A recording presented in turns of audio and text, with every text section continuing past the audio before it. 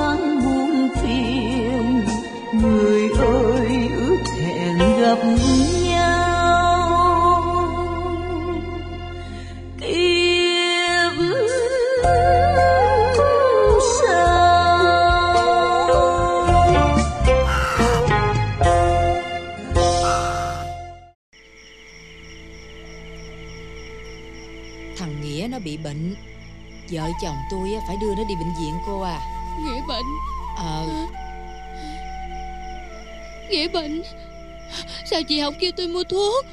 Chết rồi. Tại tôi không mua thuốc mà Nghĩa bệnh. Nghĩa bệnh Nghĩa ờ, bệnh. Thôi không cần đâu. Thằng Nghĩa nó khỏe rồi.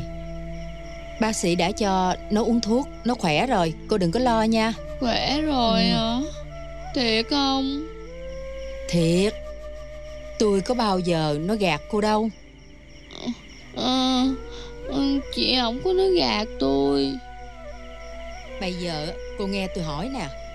Bữa trước á, cô đi đâu Mà nửa đêm á, tôi ra tôi không thấy ghe cô ở đây vậy? Hả? Đi chơi. Trời đất. Ừm, Sao tự nhiên cô lại đi chơi vào giờ đó? Mà cô đi với ai vậy? Một mình. Đi một mình dàm chơi. Ra dàm chơi, Biết đâu gặp chồng con. Bữa đó, Tôi không thấy ghe của cô đậu ở đây Tôi lo lắm. Từ nào giờ, Gia đình tôi ở đâu á, Thì cô ở đó quen rồi. Tuy chúng ta không ở chung một mái nhà, Nhưng tôi cũng xem cô như người ruột thịt vậy. Cô mà bỏ đi đâu mất á, Là tôi sẽ buồn lắm đó. Còn thằng Nghĩa nữa Nó cũng sẽ rất buồn đó. Nghĩa Nghĩa cũng buồn. Ừ, Nếu mà tôi đi mất hả? Ừ Tất nhiên rồi. Nó sẽ buồn lắm đó. Nghĩa Nghĩa buồn. Hả? Tôi không đi. Không đi. Ở đây Ở đây luôn. Ờ Cô phải ở bên cạnh tôi và thằng Nghĩa Để sau này. Em biết rồi. Tôi biết rồi. Cô biết gì? Nói thử tôi nghe coi. Chị biểu tôi ở gần. Để sau này Nghĩa lấy vợ. Chị mai đồ mới cho tôi mặc Đúng không? Cô nhớ nghe. Nếu cô muốn ăn đám cưới của thằng Nghĩa Muốn mài áo mới á Thì không được đi đâu xa đó nghe. Ừ, Không đi Không đi nữa Không đi Không đi nữa Để được mặc áo đẹp.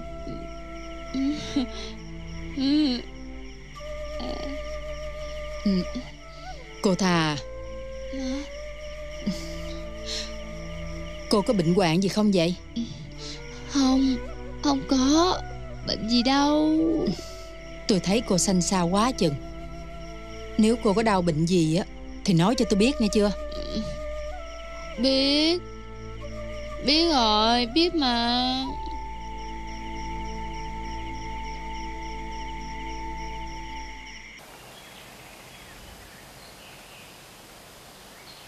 Biết Nghĩa bị bệnh, Huệ lo lắm. Sẵn quậy tới thăm Lát nữa Nghĩa đưa tập dở. Quậy đem về chép bài dùm cho nha. Ừ. Nghĩa cảm ơn Huệ. Mà Nghĩa bị bệnh gì vậy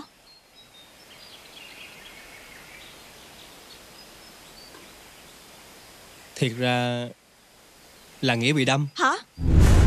Thiệt hả? Ừ. Mà Tại sao? Ai đâm Nghĩa? Bữa đó Nghĩa nhận được lời nhắn của Lệ Kiều. Biết Lệ Kiều là người như vậy Mà còn liên lạc nữa hả? Không. Bữa đó Nghĩa chỉ muốn gặp để nói rõ ràng một lần. Nhưng mà Đâu có ngờ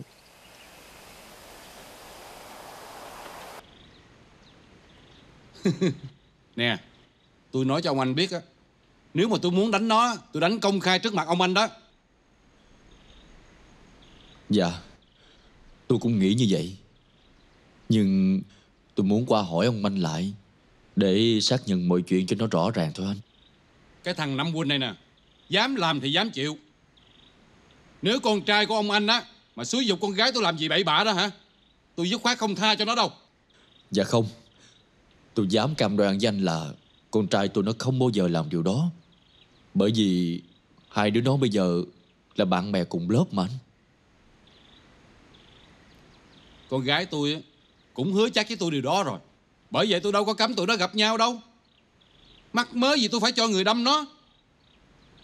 Nè, Coi bộ thằng nhóc ông anh cũng không có vừa gì đâu đó nha. Tôi khẳng định một lần nữa cho ông anh yên tâm nè. Chuyện xảy ra với nó hoàn toàn tôi không có dính líu gì trong đó hết. Dạ Nghe anh Năm xác nhận như vậy, Tôi cũng yên tâm rồi. Tôi xin phép anh Năm, Tôi về.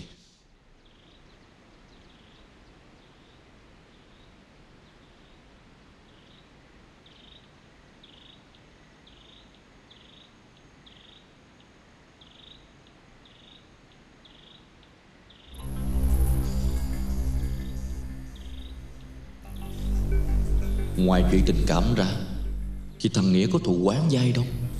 Sao người ta lại cư xử với nó như vậy? Mình phải làm sao đây chứ?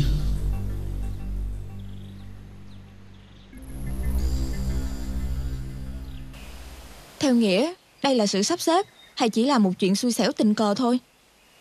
Nghĩa cũng không biết nữa. Nếu nói là tai nạn Thì không thuyết phục. Còn theo sự sắp xếp Thì theo Huệ nghĩ á, Là do anh Hải gây ra đó. Nghĩa à Mình báo công an đi. Chỉ có họ mới tìm ra chứng cứ thôi. Nghĩa xấu hổ lắm. Dù gì thì Đây cũng là lỗi của Nghĩa. Nếu như Nghĩa Đừng bị cuốn hút vào những điều đó, Đừng bị Lệ Kiều quyến rũ, Thì cũng không đến nỗi như vậy. Đây cũng là cái giá phải trả cho sự dạy dột. Nghĩa coi Đây là bài học để giúp cho mình lớn khôn hơn. Nhưng mà không lẽ Mình lại để cho bọn ác lộng hành? Bây giờ làm lớn chuyện ra Nghĩa xấu hổ đã đành. Còn trường mình Thì bị mang tai tiếng, Là có học sinh bị đâm chém.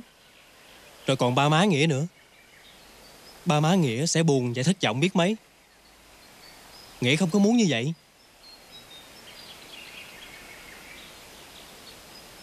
Huệ Huệ giúp Nghĩa Giữ kín chuyện này được không? Nhưng mà Với một điều kiện. Điều kiện gì? Huệ nói đi. Bắt đầu từ nay Nghĩa phải trở lại là Nghĩa của trước kia. Nghĩa hứa. Mấy ngày qua Nghĩa đã ân hận rất nhiều rồi. Ừ. Mạng sống này của Nghĩa còn giữ được Là nhờ vào lòng tốt Của một người hoàn toàn xa lạ. Nghĩa nợ người đó nhiều lắm Cho nên Nghĩa không thể sống buông thả với bản thân mình được nữa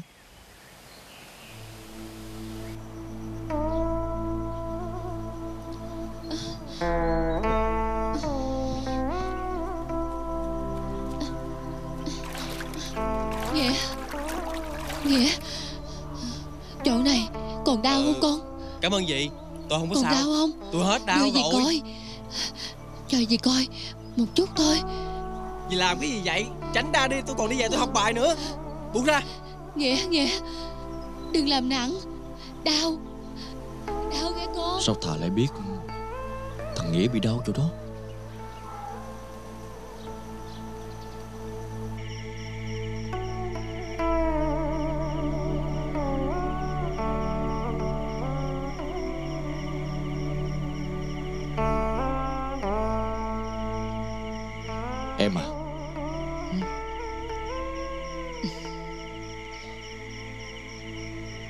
Có chuyện gì vậy anh? Ừm, Em có nói cho ai biết chuyện thằng Nghĩa con mình bị tai nạn không? Dạ không. Em chỉ nói là thằng Nghĩa bị bệnh. Ngay cả với cô thà em cũng giấu. Mà sao anh lại hỏi vậy? Ừm, à không. Tại vì anh sợ nếu như chuyện này lan ra ngoài Thì ờ, sẽ không tốt cho con. Ừ em hiểu rồi. Anh đừng có lo nha Em ngủ đi.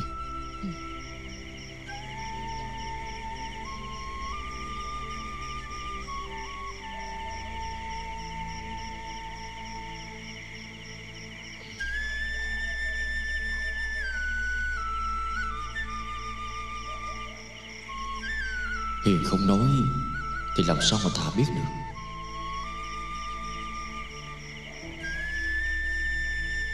Anh sợ thà lo lắng. Đúng không?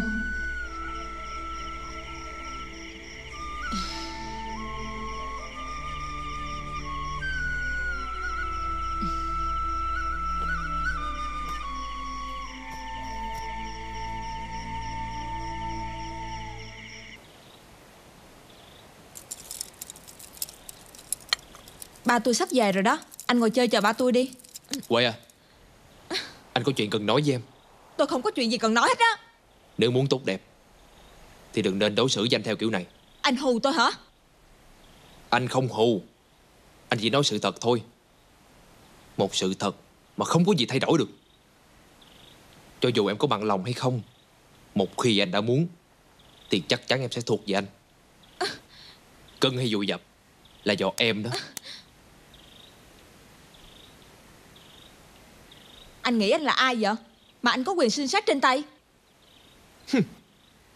Dĩ nhiên Anh phải biết anh là ai chứ. Em đừng thấy Anh một hai rồi cưới Mà em lên mặt với anh. Em làm to rồi. Để rồi coi Em sẽ trở thành một con ở trong nhà anh. Anh sẽ đầy đọa em đó. Em sẽ trả giá cho cái sự kiêu căng của em. Anh Anh nghĩ là biết bộ mặt thật của anh Mà ba tôi vẫn gả tôi cho anh sao?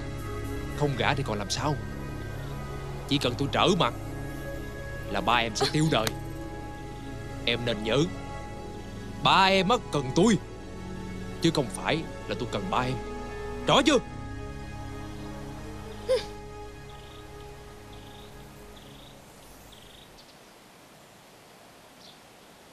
Bà cũng phải ráng ăn cho nhiều vô Mới có đủ sức mà chăm sóc cho tôi.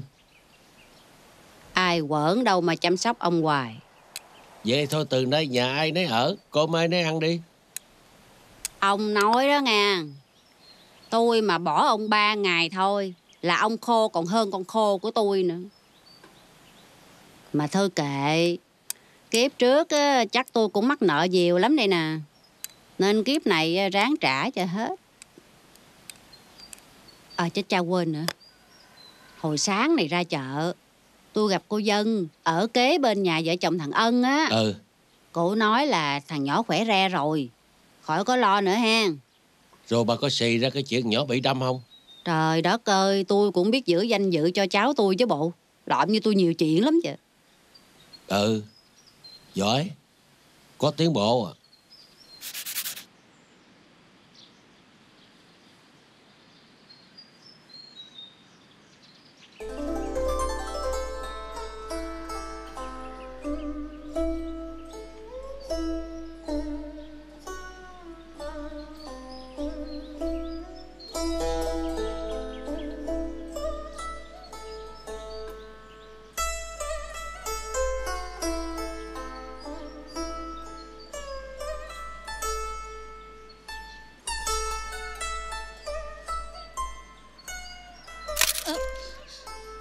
Em xin ê, lỗi.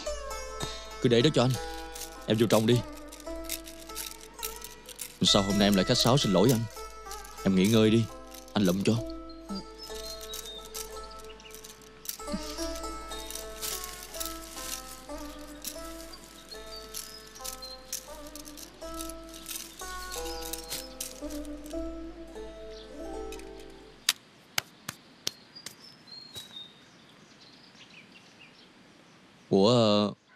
về lúc nào anh không hay gì hết. Em thấy anh đang suy nghĩ điều gì đó Nên em không muốn làm anh bận tâm. Có gì đâu em. Anh ơn Hôm nay con mình đi học lại. Ừm, Em cầu mong đừng có chuyện gì không hay xảy ra cho nó. Em đừng có lo Nó sẽ không sao đâu. À Sắp tới ngày đám dỗ của bà nội thằng Nghĩa. Anh muốn về thăm mộ má. Em nói với thằng Nghĩa coi. Lo sắp xếp rồi anh đưa hai má con cùng về. Dạ. Em cũng nhớ nhà ở dưới đó. Biết mình về chắc cậu mờ vui lắm. Nhất là có thêm thằng Nghĩa nữa. Vậy em hỏi nó coi. Hôm nào nó rảnh á Thì mình đi chung. Vợ chồng mình phải phụ thuộc vào ngày của nó rồi á. Dạ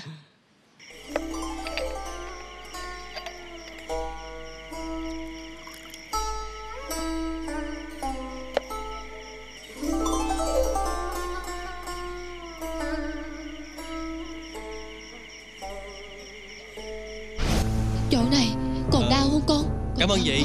Tôi Còn không sao hết á. Tôi Đưa hết đau coi. rồi. Cho gì coi Một chút thôi. Chị làm cái gì vậy? Tránh ra đi tôi còn đi về tôi học bài nữa. Buông ra. Nghĩa Nghĩa Đừng làm nặng Đau.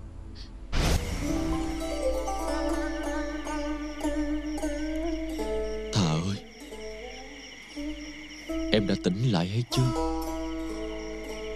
Sao lòng anh lại quan mang đến như vậy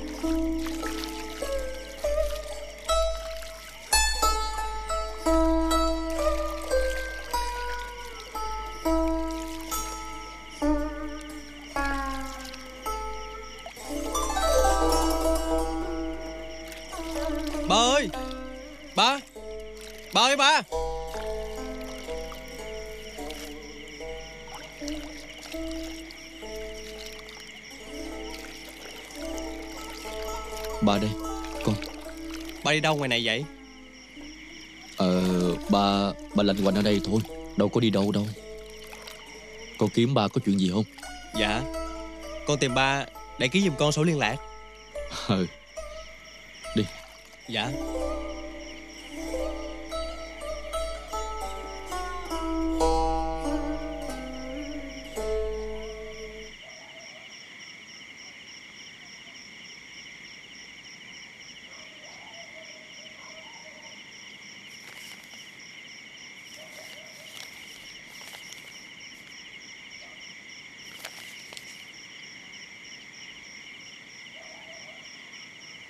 Sao mà tháng vừa rồi học lực của con sa sút quá vậy Nghĩa? Dạ Con xin lỗi ba má. Con sẽ không để tình trạng đó xảy ra lần nữa đâu. Ba chỉ nhắc nhở con vậy thôi Chứ ba với má không có trách con đâu. Sức khỏe vẫn là chính nghe con. Dạ Con cảm ơn má. Đưa cho ba cây viết coi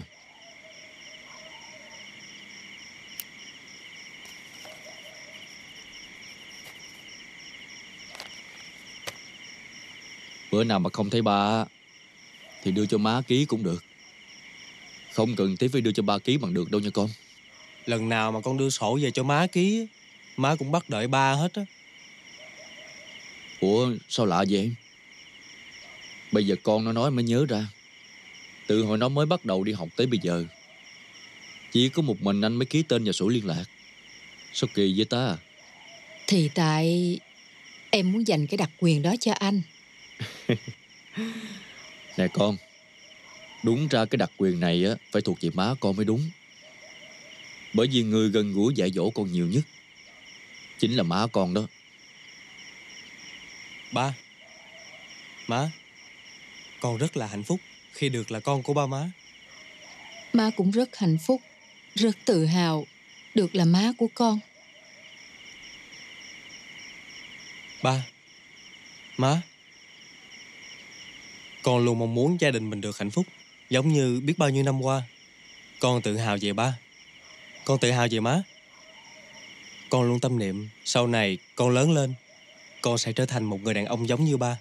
Hết lòng thương yêu Và chung thủy với vợ con. Và có một người vợ giống như má. Hiền lành, đảm đang Còn dám chắc. Hạnh phúc của gia đình mình Được rất nhiều người ngưỡng mộ và mong muốn. Ba. Má. Mình sẽ giữ gìn điều này mãi mãi nha. Ủa? Ba với má sao vậy? Bộ con nói gì không đúng hả? Ờ. Ừm, Ờ không con. Gia đình hạnh phúc là điều mà tất cả ai cũng mong muốn con à. Chỉ có điều là nghe con khen tặng vậy bà với má thấy mắc cỡ thôi. Ba Trên đời này Sẽ không tìm được người nào thứ hai giống như má. Thương yêu cha con mình đâu Đúng không ba?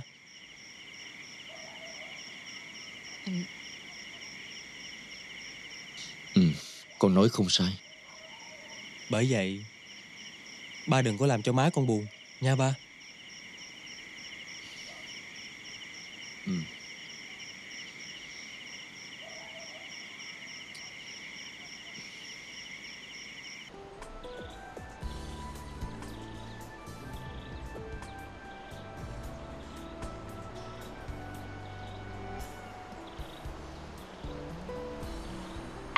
Hải à Con tính cưới vào tháng tới hả?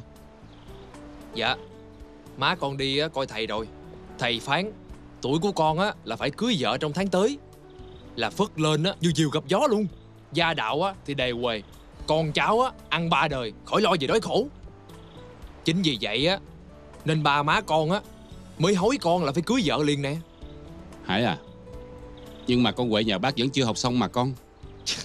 Trời đất Cần gì phải học bác? Con cưới Huệ về á Là chỉ để Huệ ở nhà chơi không thôi Khi nào mà có con á Là chỉ có một nhiệm vụ Là chăm sóc con cái thôi. Cần gì mà phải học hành chi cho nó vất vả bác? Nói thì nói vậy Chứ bác đã nuôi nó mười mấy năm trời ăn học rồi. Cũng phải để cho nó lấy cái bằng tốt nghiệp cấp 3 Cho bằng chị bằng em như người ta chứ con. Trời! Người ta cần cái bằng Để đi xin việc làm nuôi sống bản thân. Mình không cần. Mình lấy cái bằng để làm cái gì hả bác? Ừ. Thôi được rồi. Để bác về dò ý con Huệ coi sao Bác không cần hỏi. Con cũng biết á, là Huệ sẽ không đồng ý. Huệ còn nhỏ. Suy nghĩ chưa tới đã đành. Con chỉ hy vọng ở bác thôi. Con hy vọng á, là bác sẽ nhìn xa trông rộng Để giữ cái lời hứa với con. Ừ, ừ, Con yêu Huệ thiệt lòng. Làm vợ con á Là Huệ sẽ có tất cả. Bên cạnh đó Chuyện làm ăn của bác cháu mình á Sẽ càng ngày càng thêm thuận lợi. Trong cái chuyện này á Bác chỉ có lợi. Chứ đâu có mất gì Đúng không bác? Ờ ờ Vậy à, bác sắp xếp khi nào thuận tiện đi Rồi cho con biết. Con biểu ông bảo qua. Ừ. Huệ à Hôm nay chuyện học hành của con sao rồi con? Dạ mệt lắm ba Bài tập nhiều lắm. Vậy thôi nghỉ học đi con. Ba nói giỡn hoài à. Ba nói thiệt đó Ba không có giỡn đâu. Thấy con học hành xuống sức Ba lo lắm Dạ có gì đâu ba. Bạn bè con cũng như vậy mà. Nhưng con á thì khác. Đám bạn con á dù muốn dù không á cũng phải đeo tới cùng. Nhưng con á không giống tụi nó đâu. Cần gì phải cố sức vậy? Con không giống họ chỗ nào hả ba? Tụi con là học sinh cuối cấp Cũng giống như nhau thôi. Dù con không cần phải học Cũng có cuộc sống đầy đủ an nhàn. Nè thằng Hải hứa chắc với ba điều đó rồi đó Sao tự nhiên ba nói điều này chi vậy? Không phải ba con mình đã bàn bạc trước rồi sao? Là khi con tốt nghiệp xong Thì mới bàn tới chuyện này mà. Ừ Thì ý ba là như vậy. Nhưng về gia đình bên thằng Hải nó hối thúc là cuối tháng sau thì phải cưới đó. Vậy mà ba cũng đồng ý hả? Ừ thì à, ba thấy cũng đâu có vấn đề gì lớn đâu Huệ. Ba Con có hư hèn gì đâu Mà ba gả con đi gấp vậy? Huệ à Con phải hiểu cho ba. Ai có con gái á Cũng muốn gả con gái mình ở chỗ giàu sang đàng hoàng sung sướng hết con à Bà nói anh Hải giàu có Thì con không có cãi. Nhưng mà nói ảnh đàng hoàng á Thì ba sai rồi. Ba làm ăn với thằng Hải lâu nay ba biết tánh nó. Nó là người đàng hoàng con yên tâm đi. Đàng hoàng Đàng hoàng mà suối gái bia ôm. Dụ dỗ một cậu học trò còn non nớt Đáng tuổi em cháu mình. Đàng hoàng mà suối người ta đâm chém người khác. Bà có biết là ông nói gì với con không? Nó nói gì với con? Ông nói á Là nếu mà ông muốn Là ba sẽ gả con cho ổng Rồi bắt con làm con ở trong nhà của ổng Cái gì? Vì cái tội con không ưng ổng á Huệ Con nói cái gì kỳ vậy? Thằng Hải không bao giờ làm những cái chuyện bậy bạ như vậy đâu con. Ba à Còn rất nhiều điều Mà ba không hiểu hết về ổng đâu. Ba Con xin ba Ba đừng ép gả con cho người như vậy nữa.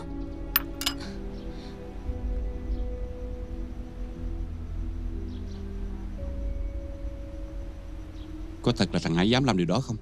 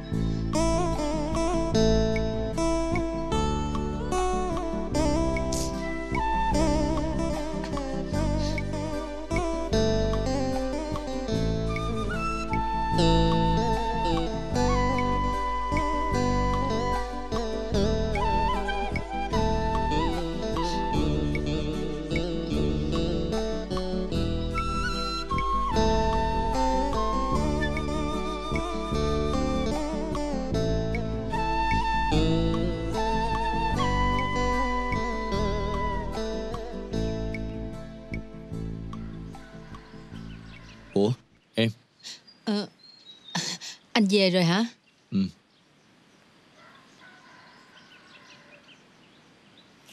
Nè Đây là tiền anh giao bàn ghế cho người ta Em cất đi Ờm, Anh có lấy một ít Để mua mấy thứ lặt vặt Nè Sao anh không giữ lại trong người một ít? Khi nào cần mua thì có. Em giữ cũng như là anh giữ thôi Dạ. Vậy thì em để trong tủ. Khi nào cần á thì anh cứ lấy nha. Ừ anh biết rồi Ừ. Ủa sao cô thà cổ đi đâu mà không thấy cổ mà xuồng cô lại ở đó ta Ừm, À, lúc nãy chị dân kế bên kêu em nhắn cổ lên cắt rau muống. Ừm, chắc là cổ đi rồi đó anh. Vậy hả Ừm, Em nè Dạ, Em còn nhớ hồi đó Bác sĩ nói làm sao về chứng mất trí nhớ của cổ không nhớ chứ anh. Họ nói cô thà có thể tỉnh lại. Mà cũng có thể là không. Nhưng sao tự nhiên anh lại nhắc tới chuyện đó vậy? Thời gian trôi qua cũng lâu rồi. Anh chợt nghĩ tới một lúc nào đó. Thà tỉnh lại. Em cũng có khác gì anh. Em vẫn mong cô nhớ lại mọi chuyện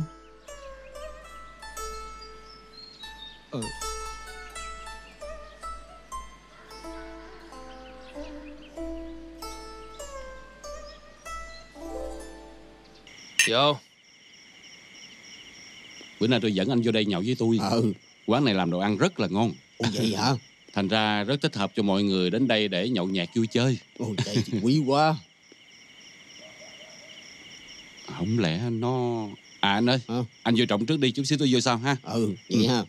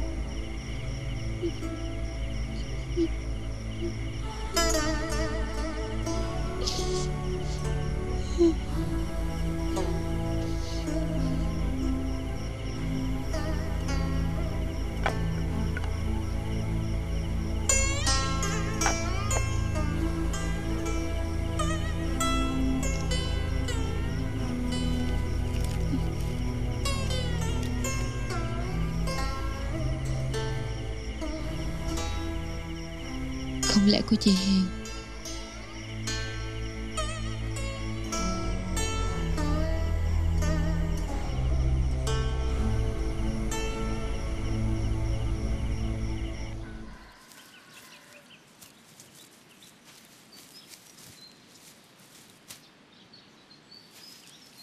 Giữa bà với má có chuyện gì Mà sao mấy bữa nay Mình thấy hai người rất là lạ?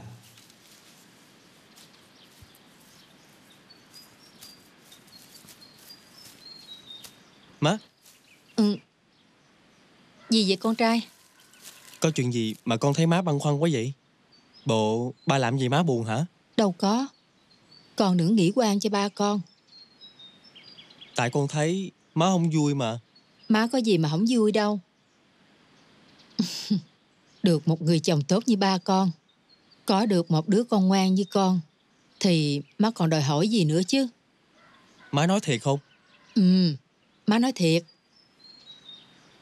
Ừm, Má. Hử? Má kể cho con nghe chuyện tình cảm giữa ba với má đi. Sao tự nhiên lại đòi nghe chuyện tình cảm của ba với má? Ờ Thì Tại từ lúc con lớn khôn tới giờ á Con luôn ngưỡng mộ gia đình của mình. Lúc nào cũng êm ấm hết á Không khi nào con thấy ba với má Nặng lời với nhau. Con tự hỏi là Trước khi cưới nhau á Ba với má có phải là mối tình đầu của nhau hay không? Cái thằng Bài đặt điều tra chuyện tình cảm của người lớn. Ừm, Tại con tò mò chứ bộ. Ừm, Má nói cho con biết đi má. Ba con là mối tình đầu của má. Ngoài ba con ra Má chưa từng nghĩ đến người đàn ông nào khác. Vậy còn ba con thì sao má? Ừm, Không phải ba con rất tốt với má con mình sao? Con còn quan tâm làm gì nữa Thì tại con thắc mắc thôi Thôi, để má vô dọn cơm cho hai ba con ăn. Ăn cơm rồi á, ba con còn phải đi chở bàn ghế ra giao cho người ta ở ngoài chợ nữa. à, Hay con sẵn tiện ra chợ con đi học thêm á má Má cho con bỏ chiếc xe đạp xuống xuồng Theo phụ ba nha Được vậy á là hay quá rồi. nè, Dạ má quên nhắc con. Còn hai tuần nữa là tới đám dỗ bà nội. Ba con muốn đưa má con mình về thăm mộ bà nội. Con sắp xếp bữa nào không học á thì nói cho ba má biết nghe. Dạ Vậy thì hay quá Lâu rồi con cũng không có về quê Đi thăm mộ nội với ngoại Thăm ông bà út nữa Dạ Để con coi lịch học của con lại Rồi con nói má nha Ừ. Thôi đi. Dạ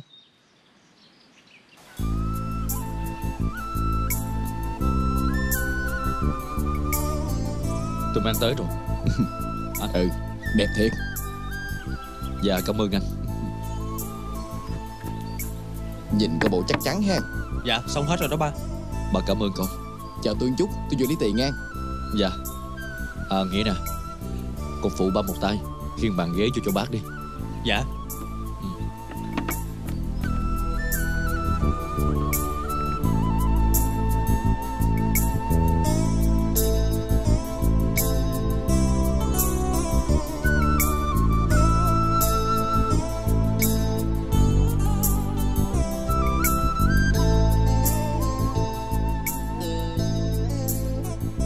ơi. Dạ. Lấy cho tôi coi cái áo Cái này hả chú?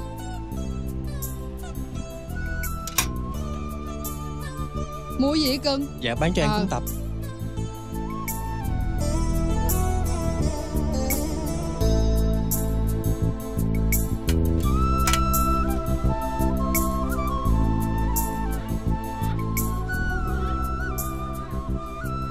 Ba mình đúng là người đàn ông chu đáo Lấy tôi cái này đi chị.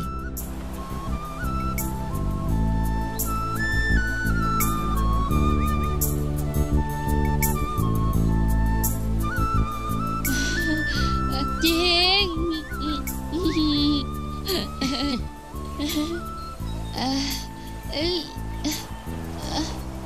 Hiền ý- Hiền Cô kiếm tôi chi vậy? Hả? Chả Sao cô lại đưa tiền cho tôi? Tôi đi bán. Nhiều tiền lắm. Nhiều lắm. Không có lấy. Không có lấy đâu. Không lấy. Nhưng mà Lấy cái này nha. Cảm ơn. Mấy cái này đâu phải của tôi đâu. Chị đừng có gạt tôi Tôi biết hết á, Tôi không có khùng đâu nha. Nha. Nếu là ăn trộm, Nó sẽ chỉ lấy đồ của tôi thôi. Đâu có chuyện nó cho đồ tôi, đúng không? Tôi không có khùng đâu. Liêu liêu Tôi biết hết đó nha. Tiền của tôi có bao nhiêu tôi biết hết đó Không có gạt được tôi đâu.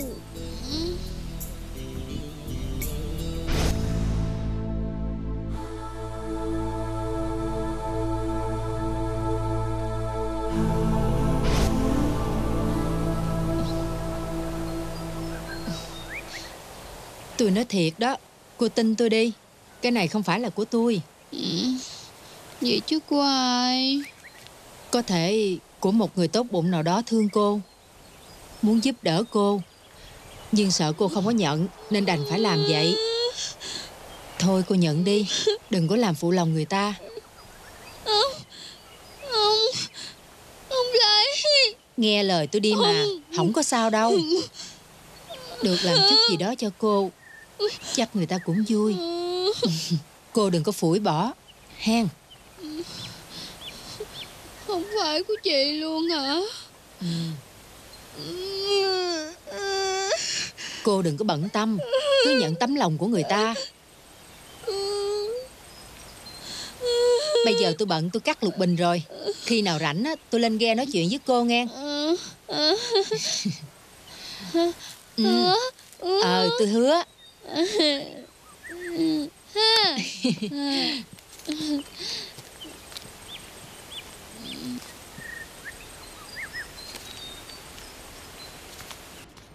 Bác muốn gả con Huệ cho con. Không hẳn gì con giàu có, Và cũng không hẳn vì bác cần con Trong chuyện làm ăn. Hai cái đó chỉ là phụ thôi. Còn cái chính của bác Là bác muốn con Huệ nhà bác Có được một người chồng chính chắn Biết tính toán làm ăn. Một lòng thương yêu nó Và đảm bảo cho nó một cuộc sống hạnh phúc.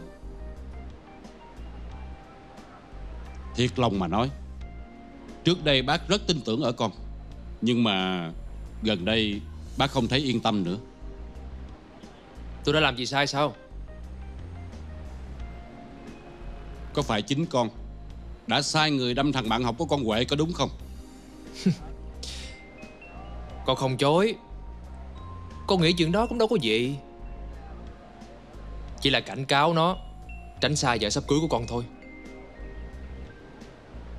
Không lẽ vì chuyện đó mà bác đã mất lòng tin với con à? Không hẳn như vậy. Tuy nhiên bác không đồng ý cách làm đó của con. Cái thằng đó chẳng qua chỉ là một thằng học trò. Cái mặt nó còn bún ra sữa.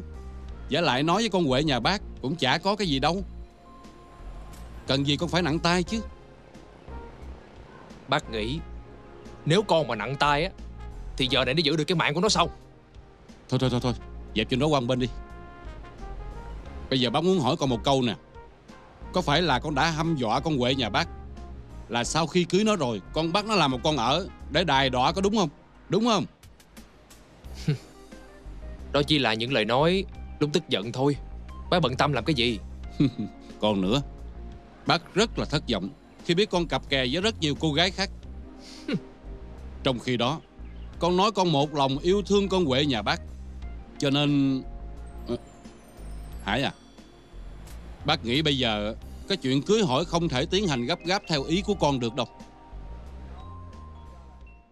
Hải Con đừng có quên á Con Huệ nhà bác là đứa con gái mới lớn. Thì có sao đâu Chỉ cần ông chấp nhận là đủ rồi. Rồi từ từ á nó sẽ phải ngoan thôi. Hải Trước mặt bác mà con lại nói như vậy à? Con sợ gì mà không dám nói. Con nói là nói sự thật mà. Má Sao má cứ đèo bồng chuyện của người dân hoài vậy? Nhà mình có trách nhiệm gì với bả đâu? Má lo cho bả từng ly từng tí. Đâu phải ba má đèo bồng Mà chỉ muốn giúp người thôi con à. Con nói rồi Con không có thích. Nghĩa. Dạ. Nghĩa. À Dạ.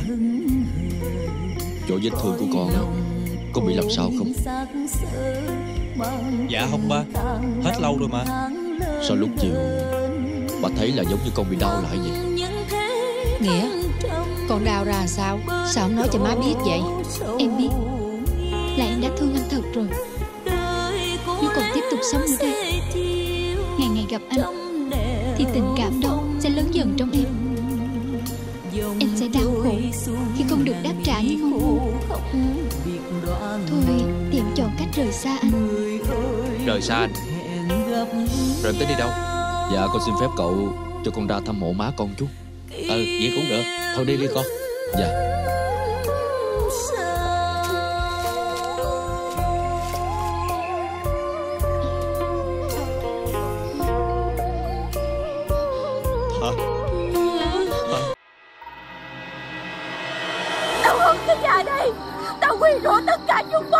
Là lời nguyền tan tóc ấy. Hay ánh mắt căm thù của cô hầu gái này giờ con quên được mối thù giết Đã mang đến bi kịch cho Trần Gia.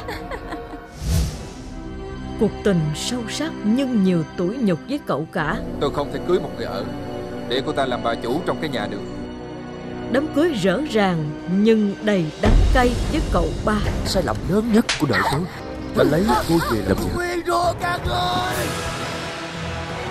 Khi yêu thương không xóa được định kiến chủ tớ. Dù em có giỏi đến đâu đi chăng nữa Thì em vẫn là một người ở. Thân phận của cô là Tình vợ chồng cũng vô nghĩa bởi giai cấp đã phân chia. Tất cả. Đó chính là giai cấp. Hạnh phúc là như thế nào? Cô gái ấy mãi không chạm tay vào hạnh phúc. Lời nguyền Bộ phim truyện Việt Nam Lời Nguyền 20 giờ từ thứ hai đến thứ bảy trên truyền hình Vĩnh Long 1